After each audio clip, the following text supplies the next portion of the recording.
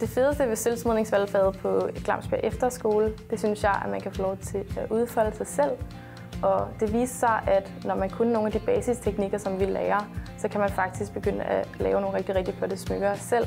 I starten der troede jeg, det ville være rigtig svært at skulle sidde og varme øh, sølvet op, og vi lærer en masse sprog med udglødning og så. Det virkede meget indviklet, men det viser sig, at det er faktisk rigtig let. Og med vores basisteknikker, så kan man udvikle en masse smukke smykker, som man også selv synes er fede.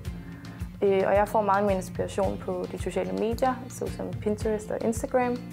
Men også øh, kunne jeg kigge på nogle hjemmesider, hvor at jeg ved, at jeg synes, at deres smykker er fede. Og så kunne jeg øh, selv lave nogle, hvor jeg sagde, at jeg vil hellere have det i bronze eller en anden form.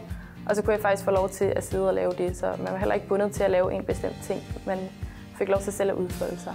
Så det var nok noget af det, jeg synes er allerfedest ved sølvsmodningsalfaget.